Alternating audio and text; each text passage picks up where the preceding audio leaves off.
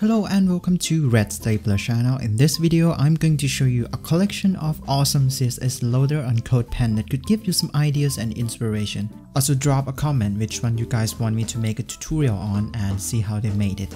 Ready? Let's check it out.